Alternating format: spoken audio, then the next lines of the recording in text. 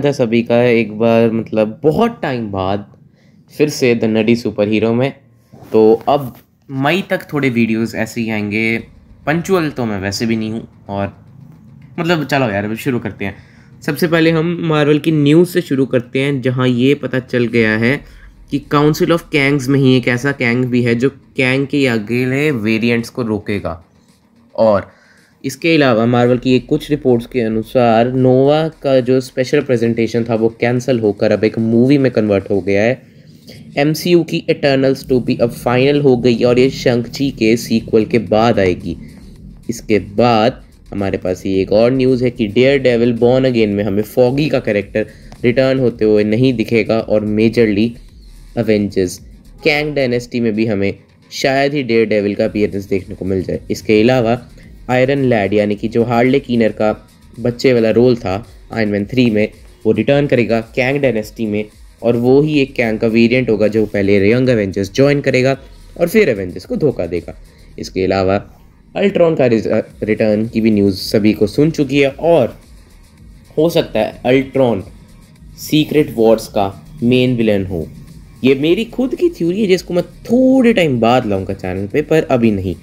इसके अलावा Chris Hemsworth वाली न्यूज़ भी सभी को पता चल ही गई होगी कि he wants a different tone अगर उसे चाहिए कि थॉर फाइव में उसे कास्ट किया जाए। इसके बाद इंडियन स्पाइडरमैन का भी एक नया लुक सामने आया जो आप नेट पे जाके देख सकते हो।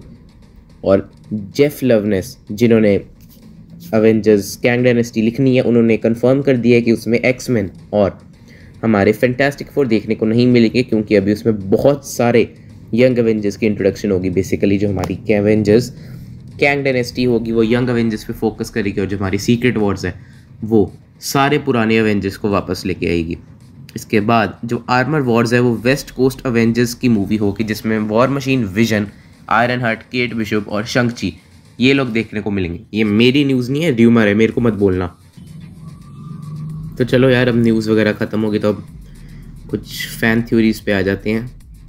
इससे पहले हमारे स्पॉयलर मैन मार्क रूफेलो ने कंफर्म कर दिया कि ये आर डी जे वापस आ रहे हैं। मतलब टाइम मशीन है मार्वल है मल्टीवर्स है मतलब समझ जाओ, अब आगे मैं नहीं कुछ बोलूँगा, वरना कहोगे स्पॉयलर अलर्ट तो चलो यार, अब शुरू करते हैं हमारी फ़ैन थ्योरी के अकॉर्डिंग जिसके अकॉर्डिंग आर डी जे का रिटर्न आएगा इन सीक्रेट वॉर्स उसके लिए आपको पहले ये वीडियो देखना पड़ेगा।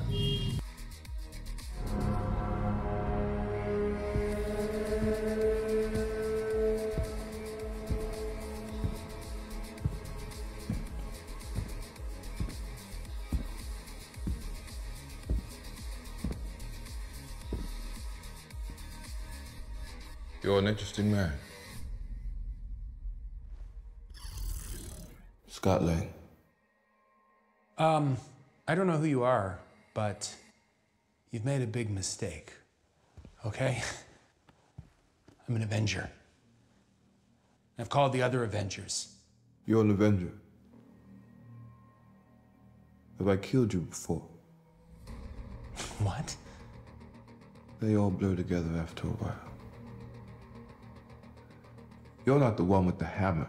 That's Thor. We get confused a lot. Similar body type. Kang कहता है थॉर को एंटमैन यार वो कैंग को भी कंफ्यूजन हो गई थी have I killed you before you are not the guy with the hammer तो अवेंजर्स एज ऑफ़ अल्ट्रॉन का ये सीन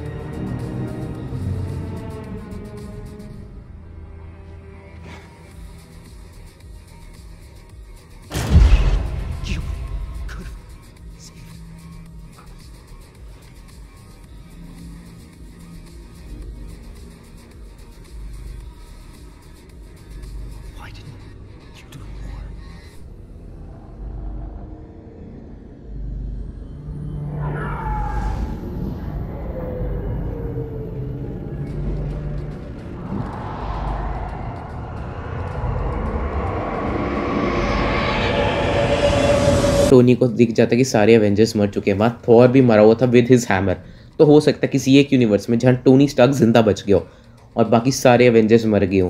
यानी कि कैंग ने किसी ऐसे यूनिवर्स में जहाँ पे आरडीजे का ही वेरिएंट है, वहाँ पे आयरन मैन सिर्फ़ ज़िंदा और बाकी सभी मार दिए गए हैं कैंग के द्वारा। इसकी थ्योरी के अकॉर्डिंग ही आयरन मैन का रिटर्न हो सकता है सीक्रेट वॉर्ड्स में। तो अब अगली भी टाइम की बात करते हैं, जो कि है एक बहुत ही अच्छी र्यूमर और इसको सबसे पहले इस थ्योरी को बनाया था कैप्टन बी टू ने तो उनको क्रेडिट मिलता है, मेरे को नहीं।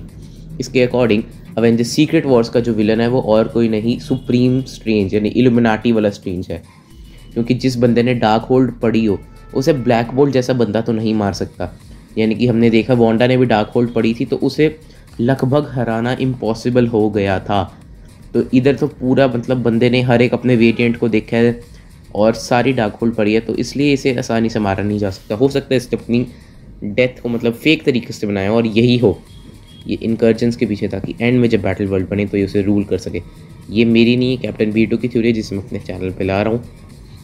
तो बस आज की वीडियो के लिए इतना ही। मैं जानता हूँ वीडियो लेट है। और वीडियो थोड़ी ऐसी आएगी क्योंकि मैं बिज़ी हूँ, उसके लिए सॉरी बाकी तब तक शॉर्ट्स वगैरह तो हैं ही यूट्यूब के तो वो देखो मेरी इधर चैनल पे। अगली वीडियो मतलब जून तक वीडियोस थोड़ी ऐसी आएँगी तो please I am really really sorry चलो यार मिलते हैं अगली वीडियो में. बाय